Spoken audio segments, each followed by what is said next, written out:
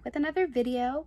So today's video is going to be um, kind of a tutorial run through of this look that I did right here. Um, I wanted to do this and post this by tonight because of the celebration of life for Kobe, Gianna Bryant, and all those others who were lost um, in the horrible crash not too long ago, um, which is why I did the yellow and um, the gold, yellow, and purple in honor of the Lakers that he played for for so long and um, the nine hearts for the nine hearts that were lost that day. So if you are interested in seeing how I did this um, and the look I created, you can definitely continue to watch. Everything um, that I have on right now is a drugstore product other than the Jaclyn Hill Volume 2 palette. That's what I use for my purples and my golds. All my eyeshadows are from that palette and then everything else on my face is a drugstore product. So it's very afford affordable. Um, yeah, and anyone can do it. Um, I'm not that good at makeup. I This was the first time I've applied lashes and I don't know how long. So I really tried my best. I tried very hard. Um, so don't think just because you're not an expert in the makeup field that you can't create something that looks cool and something that's different, because you definitely can. This is the first time I've really ever played around with makeup, so that was a lot of fun. Um, so if you want to see the process, stay tuned. Um, if you're new to my channel, please subscribe um, and put, turn on your post notifications because you'll be getting notified every Monday and Thursday um, when I post new videos. So stay tuned, guys. Thanks so much.